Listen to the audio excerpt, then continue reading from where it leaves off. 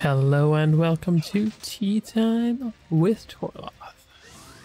Today I've got Pokemon back on the chopping block, talking mostly about some issues I've had with perception about how these games are developed, especially with the newer ones, and a little bit about just how I feel about the of Armor and Pokemon Sword and Shield in general. But I think that's enough of me freeforming. Let's get to the script. The Switch is an impressive realization of what Nvidia tried to do with their Shield line so many years ago. I think the Android operating system of the Shield and its lack of support for Nvidia was trying to do killed the Shield line prematurely. However, Nintendo and Nvidia showing the world what was possible with the wonderful Breath of the Wild, a fantastic game with an impressive scope, but one with all the new ideas and built from the ground up for the weak Wii U. And I want to emphasize this built from the ground up. So, when I paraphrase this tweet I saw after the launch of the new Pokemon Snap trailer and try to explain to you why, just remember this one key phrase built from the ground up. And here's that quote Why can't Game Freak make a Pokemon game that looks this good? Because they're building on what came before it, with Pokemon Sun and Moon, and using an in house engine. On the flip side, Pokemon Let's Go, Eevee, and Pikachu, they use a far more limited system, less Pokemon, less battle mechanics, adopting a lot of what the dialed down mobile game has to offer. Simple catching, simple Pokemon stats, basically a third of the mechanics that are in Sword and Shield. I really do understand the disappointment, and personally, I think that Sword and Shield are lacking in other ways besides visuals, like voice acting, better Pokemon calls, or even just the way the story is. I know everyone wants to be the big hero in games, but Leon steals that thunder away from the player. Not even seeing these encounters might turn people off just a little bit. Pokemon games always made me wonder what the champion actually did. Like, why have police when all the mighty 11 year olds will save the day? I've been meaning to make a video and to go into things I think would make Sword and Shield more polished experience. You see, the trees in the wild area don't bother me as much as the lack of polish in the product we have. I play a lot of smaller scoped games with better polish all the time, like Dragon Star Varnir, or any Compile Heart RPG. Quality voice work can carry a puppet show, and Compile Heart show that every time. I'm gonna be honest here, and I feel that Pokemon are the reason people play Pokemon RPGs or any Pokemon game. They really are the star of the show. So when only Eevee and Pikachu get real calls and everyone else gets something that sounds like it's on the Game Boy sound chip, this is probably the place where you can gain a lot of goodwill from fans. That and Pokemon that follow you. Now, this was added for the Isle of Armor, but only for that wild area and that zone, it seems. Hopefully, this gets patched for the entire map at some point and will be included in every upcoming title. The base story from Pokemon Sword and Shield is fine, and for the most part, it isn't bad but comparing it to other games in the series, it's very safe. I think a lot of development was spent on the wild area, and these games are carried more by the player wanting to progress rather than a tantalizing story anyway.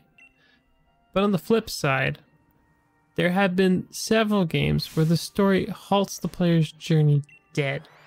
And for the most part, Pokemon Sword and Shield's story gets out of the player's way, for better or worse. To me, Pokemon is at its best when you find your own stories rather than following the path blindly. But this is part of the issue with Sword and Shield. The player is too free from the story. There needs to be a balance struck. To me, the be- the Pokemon game with the best story was Sun and Moon. Mostly because I actually cared about Lillie more than any other Pokemon girl, rival, whatever you'd like to call her. She felt like a friend of mine, someone I knew long ago, and someone who I wanted to make sure made it through okay. I wanted to make sure she was safe. She was going through hard times. At, at every turn, she was trying to avoid people and find your place in the world and do what was right. Yeah, maybe not everyone likes her as much. I didn't play Ultra Sun and Moon. Sword and Shield, I don't care about Hop. Outside of just basic looks and character traits, like, oh, she's got a Yamper. She's this trainer. She's this. The gym leaders might have a little more personality than most games, but for the most part, there's not a whole lot of that here. There's not a whole lot of compelling characters and a story that is good. Again, it's very safe, but I had so much fun enjoying this safe and wholesome kind of game. It was just, it was a fun game. But I don't think just because the game is fun doesn't shield it from the criticism, doesn't make it okay. And then I have to talk about this DLC, this expansion we have. The replacement for the third game in the series, which we actually haven't got in quite a while. Now, as of time of writing and time of filming, only the Isle of Armor is available. And the story here is very basic, very short, and just kind of is there to get you up in the know on how stuff works here on the Isle of Armor. Regardless of how meh the story is, there is some very interesting ideas on display here. And some real promise for, for wild area Pokemon games in the future. Uh, if you take a look around the wild area here and some of the footage I'm showing, there's like tunnels, there's forests that look beautiful, and maybe they're a little bit more limited in scope, but they're still open and free. Yes, not everything's like a city, and I think you could still have cities and these more open areas in between, but that could be a more interesting balance. It's more like a, a free open area between points. A tunnel that feels almost like a cave. Maybe a more complicated cave. This is a step in the right direction for this more open area. It doesn't need to be massive. It doesn't need to be an open world Pokemon game. To me, I think open world games have to run have to strike this perfect balance between amount of content and what is actually good content. Definitely I'm looking forward to whatever Pokemon does next. I will probably not partake in Pokemon Snap since it's never been my game. But I know someone will love it. And there's times where I look at games and I'm like, that looks cool. I know someone who will love that and I will send it along to them. And they and they love the idea. Even if I don't like it. And that's kind of what the eggplant award's all about. Is I hate eggplants. I can't stand them. Their texture, their taste, ugh, drive me up the wall. Just ugh. I don't like them. I don't like them at all. But other people love them. And they think they're great. They think they're fantastic. They think they're absolutely delicious. So, as a joke from Neptune, and as someone who's, as they've gotten older, realized that maybe this game wasn't as great as everyone said it was, but maybe it's not as bad as everyone says it is. I can take the steps, I can look at something and be like, I like what they're going for. And even I'll talk about a game with someone. I'm like, this was a bunch of cool ideas. Well, it wasn't that good a game. It only got this rating. Even if the game only got a 40% on Metacritic or like a 50%, that doesn't mean it's bad. It doesn't mean it's broke. It doesn't mean anything else. What it means is the vast majority of people didn't like it. You should never be ashamed of playing video games. You should never be ashamed of liking a game that other people don't. It goes back to that hive mentality that people have. Yeah, I play Overwatch every once in a while with my friends, and I don't care for some of the other games they play, like Ark, Guild Wars, Minecraft. I don't care for them. I don't find enjoyment in them. But at the same time, I'm not going to waste my breath or my time or anything being mad about a game not being what I want it to be. Well, I don't want this game. It's not for me. That's why when someone feels so entitled to have every game appeal to them, honestly, it's kind of a breath of fresh air when I watch a preview event, a sizzle reel or something, and I see a bunch of games that aren't for me. Because then I can just go, ah, well, this is a game. Someone else can enjoy it for me.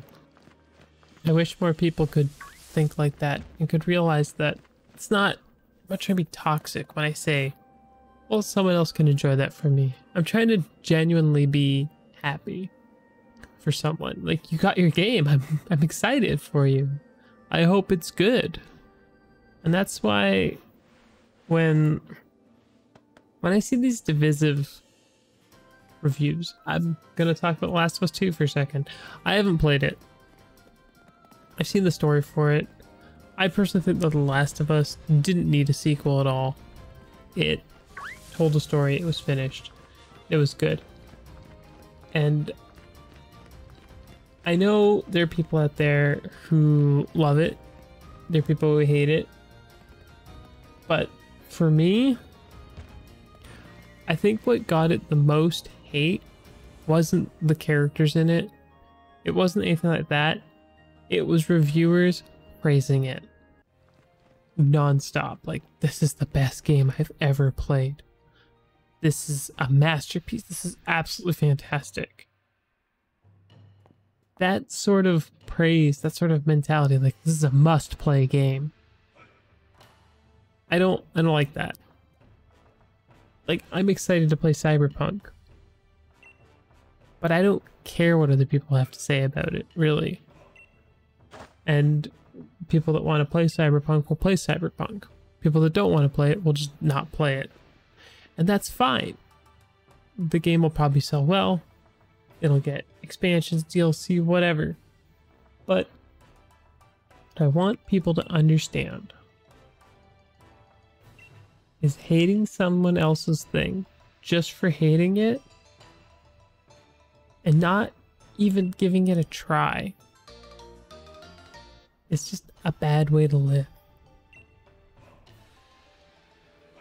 And that's why I get all this disappointment. Like, I understand why people are disappointed with Pokemon. Bring it all the way back. Bring back Pokemon. I understand why Sword and Shield and even Let's Go Eevee and Pikachu are disappointing games to the hardcore audience. Let's Go Eevee and Pikachu are a lot like the mobile game that you probably don't play. And Sword and Shield are very beginner friendly. If you're a competitive player, you probably love it because it has all the tools you need and the story kind of gets out of your way so you can get where you need to, get the items you need to get your teams up and going. And it has an excellent rental system that you can use online teams even and share your teams on the world with the world. And I didn't even go into competitive mechanics or the battle system. I know a lot of people like to hate on the Pokemon battle system, and I think you could improve it, but it's hard to improve it without changing it. Things like Mega Evolution, Z moves, and Gigantamaxing feel like they're just a way to spice up combat encounters rather than make it better. It would take a lot of effort to evolve the Pokemon battle system. It would take a lot of effort to change what's already been set. And I I don't know if it needs that. I argue it could use some streamlining. Honestly, is Pokemon expansion pass is it worth it to you? That depends. I'd say if you just wanted more Pokemon to catch or more area to explore, sure the story and whatever isn't quite there for you, but it also gave me an interesting idea that I wish Game Freak would come into, or implement. The idea that everyone's starting in the same town makes it really easy for story purposes to progress. But to me, I think what would be more interesting is if you got to choose which town you went to. Like if you start in the ice town in Sword and Shield, I can't remember its name right now. If you started there, you get a different choice of starters maybe, and it'd be the harder difficulty. And you could start in the regular town, and it could be the beginner friendly tour with the explanations, like the tutorial. It could be cool. It would obviously make it harder to tell the story because it could be disjointed, but I think it could be a cool addition to a Pokemon game. If you would be inclined and would like to, uh, I will revisit the Crown Tundra when it arrives, whenever that is. I'll make a video at some point. So if you would like to be notified when I make my next video next week about something that I'm not sure what it will be about yet, I would very much appreciate if you would subscribe. And if you like this video, feel free to like it or dislike it. If you have any suggestions that I didn't think of for Pokemon or didn't really word well, then uh, yeah, go ahead, put those underneath. Maybe they'll come look at it if we get enough views or whatever. I do read the comments, and if you do send things, I will see it, even if you're a bot. But that's it for me. Until next time, the night.